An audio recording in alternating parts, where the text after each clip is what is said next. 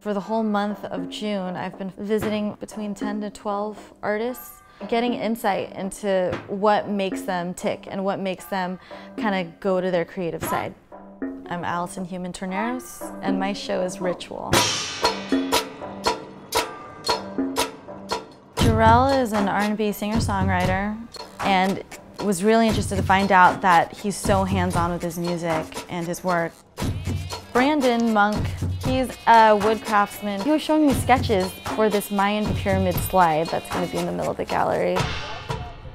J Skills is a dancer. I really wanted to approach her to do this project because she is such a strong, confident, independent woman that's holding her own in this huge like, male-dominated scene.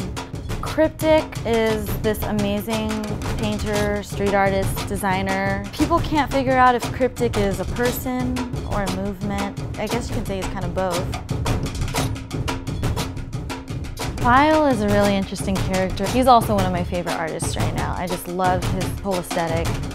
He does this whole thing where he lights his spray cans on fire. Out of everyone that I've followed, he really embodies the whole theme of ritual. My ritual is that I freestyle.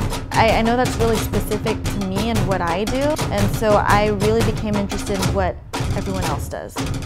So I think all these elements are just finally coming together to just, I don't know, something magical is going to happen.